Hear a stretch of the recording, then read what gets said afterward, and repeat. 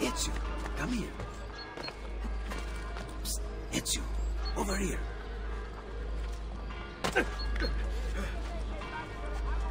Ezio, come here. Chi là? Ezio! Leonardo!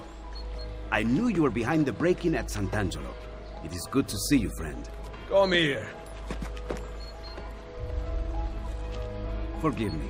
The Borgia have commandeered my services. Actually, they would have killed me had I refused. What do they want? War machines. I have constructed weapons for all the Borgia guards and other terrible monstrosities besides. They are very well designed, Ezio. Here, the names of the Templars overseeing their construction. Cesare intends to supply his army with my creations. You must dismantle them. Grazie. I will take care of the plans and the machines. There is far graver news, I am afraid. They have the apple. Yes, I know. I gave the apple to Mario. I am sorry, Ezio. Cesare left it in my hands to study, to make it work. Then Rodrigo took it from me.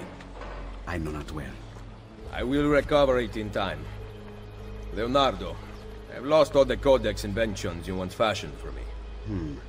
Remaking them will be easy. I never forget the design. But you must compensate me for the raw material. Really? They're not paying you at Il Vaticano? Very, very little.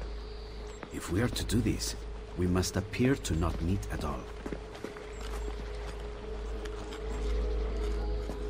A hand pointing. It's pointing to where you should sit. So sit. Yes, maestro.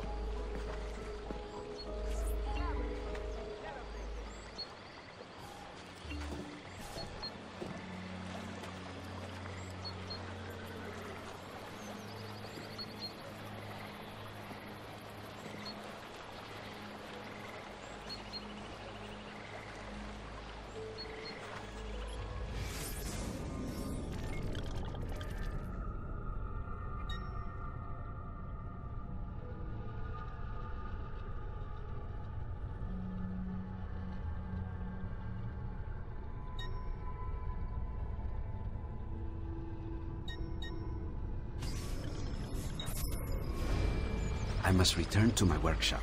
Wait here.